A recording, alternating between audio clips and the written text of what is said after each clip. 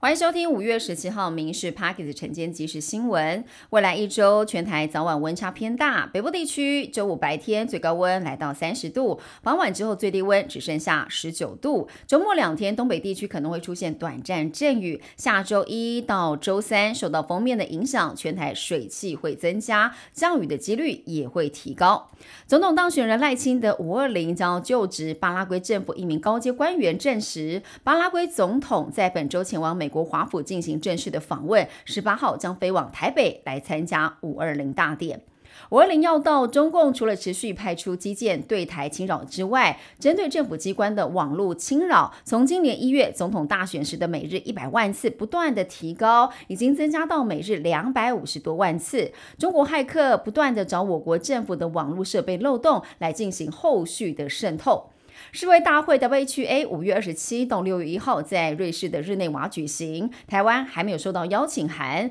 美国参议院外委会主席跟首席议员致函给世卫卫生组织秘书长谭德赛，呼吁支持台湾有意义的参与 WHA，也强调中国近年曲解了联大二七五八号决议，阻止台湾跟国际社会来接触。美国通膨数据弱于预期，提升了市场对联准会近期降息的预期。贵金属是大幅的走阳，分析师认为金价很快的会测试每盎司两千四百美元，白银可能攀升到每盎司三十美元，铂金同样是有上涨的潜力，达到每盎司一千一百三十美元。交通部规划针对严重的违规驾驶，要实施强制换发短期驾照的规定，原定三月上路，但考量应该寄出更严格的管制，新增了六年观察期。被吊销或者是吊扣处分的驾驶，重考只能够换发短期驾照，而且再犯的话，观察期就会延长，最快九月上路，大约影响七点三万人。